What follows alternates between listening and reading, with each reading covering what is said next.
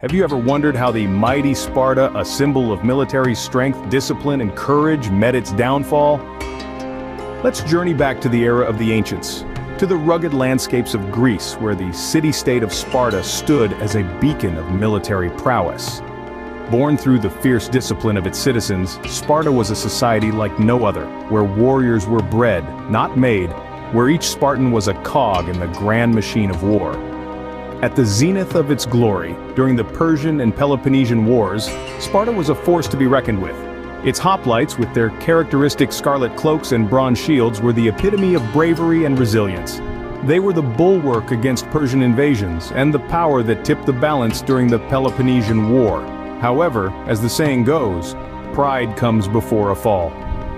But as we know, the sun also sets on the greatest of empires, Sparta's decline began with the Peloponnesian War, a brutal conflict that lasted from 431 to 404 BC. This war, a cataclysmic duel between the forces of Athens and Sparta, was a spectacle of power, strategy, and treachery. At the heart of the action were two key figures, Alcibiades and Lysander. Alcibiades, an Athenian statesman and general, was a chameleon of sorts, switching sides multiple times throughout the war, his tactical brilliance and political cunning made him a formidable player in this turbulent period. On the other side was Lysander, a Spartan admiral known for his cunning and ruthlessness.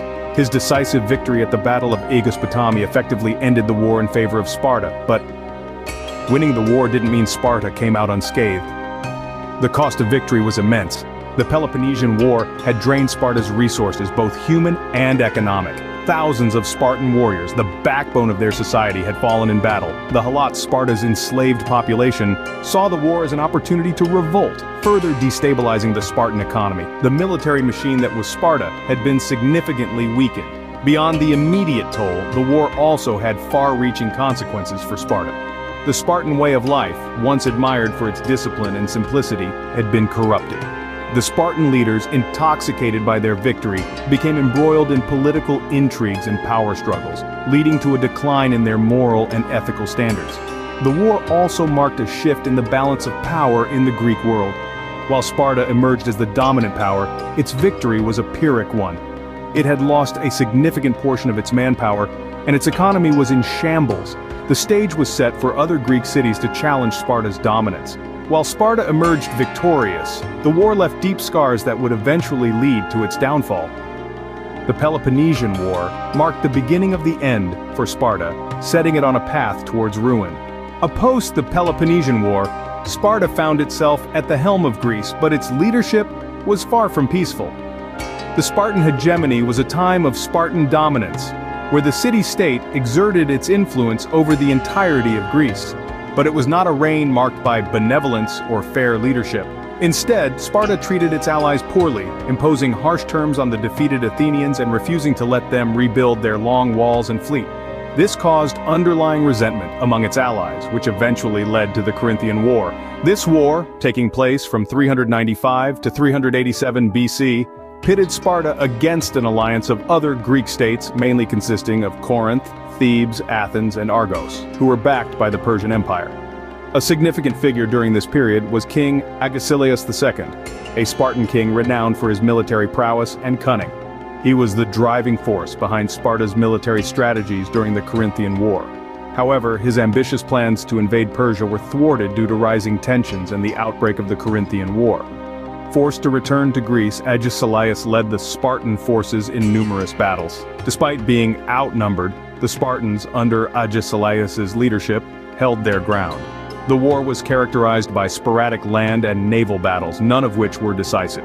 The tide, however, turned against Sparta when the Persian Empire decided to throw its support behind Athens, providing them with the resources to build a formidable fleet. The war concluded in 387 BC with the King's Peace, a treaty brokered by the Persian king Artaxerxes II.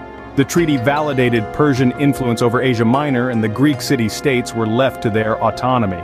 The Corinthian War ended with a truce, but Sparta's reputation was irrevocably damaged. The Spartan hegemony was marked by a decline in Spartan influence, the mistreatment of allies, and a war that would serve as a prelude to Sparta's eventual downfall. In 371 BC, a single battle marked the end of Sparta's military dominance, the Battle of Leuctra. The rolling plains of Boeotia near the village of Leuctra became the stage for a clash that would reshape the power dynamics of ancient Greece. The Spartan forces, confident in their superior numbers and military prowess, were led by King Cleombrotus. On the other side, the Theban army was commanded by the innovative general Epaminondas. Few could have predicted the outcome of this fateful encounter. Epaminondas, breaking from traditional Greek warfare tactics, introduced a game-changing strategy. Instead of lining up his hoplites evenly across the battlefield, he concentrated his forces on the left flank, creating a deep and formidable phalanx.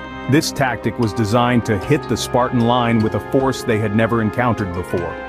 As the Thebans advanced, their left flank, led by the Sacred Band, an elite unit of 150 pairs of male lovers smashed into the Spartan right.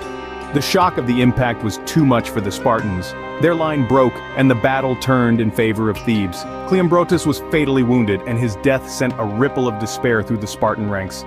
The once invincible army of Sparta had been decisively defeated. The loss was not just military, it was symbolic. This was the first time in recorded history that a Spartan king had been killed in battle against an equal enemy. The repercussions of this defeat were far-reaching. The Battle of Leuctra shattered the myth of Spartan invincibility. It was a blow from which Sparta would never fully recover. Meanwhile, Thebes emerged from the dust of battle as a new power. Their victory at Leuctra proved them to be more than capable of challenging the established order. The innovative military strategies of Epaminondas had set a new standard in Greek warfare and had shown the world that Sparta was not untouchable. The Battle of Leuctra marked the end of an era and the rise of Thebes as a new power in Greece. The final blow to Sparta came with the invasion of its homeland, Laconia, in 370 BC. The Theban forces, emboldened by their victory at the Battle of Leuctra and the ascendance of Thebes as a major power, set their sights on the Spartan heartland. Laconia, the home of Sparta, had remained inviolate for centuries. It was a symbol of Spartan might, a testament to their military prowess and discipline. But in 370 BC, this sanctuary was breached. The Thebans, under the command of the brilliant general Epaminondas, marched into Laconia, burning and pillaging as they advanced. They were not just invaders, they were liberators. The Spartan society was built on the backs of the Helots, enslaved serfs who cultivated the land and provided the Spartans with the resources they needed to maintain their war machine. The Thebans set them free. The Helots had long been the underbelly of Spartan society, their discontent a constant threat to Spartan stability. The Thebans exploited this, using the promise of freedom as a weapon against the Spartans. With each liberated Helot, the Spartan system of control weakened, its foundations crumbling under the weight of its own injustice. But the Thebans didn't stop at liberation. They sought to establish a rival state, a counterweight to Spartan power. They founded Messenia, a new state on the western edge of the Peloponnese, and settled the freed Helots there. Messenia was a beacon of hope for those who had lived under the Spartan yoke, a symbol of a future free from servitude. With the establishment of Messenia, the balance of power in the Peloponnese shifted. Sparta, once the undisputed master of the region, was now competing with a state founded by its own former slaves. Its lands were lost, its serfs were freed, and its power was waning. With its lands lost and its serfs freed, Sparta was a shadow of its former self. The once mighty city-state was on a path of decline, its glory days fading into the annals of history. By the time of the rise of Macedon under Philip II, Sparta was but a relic of the past.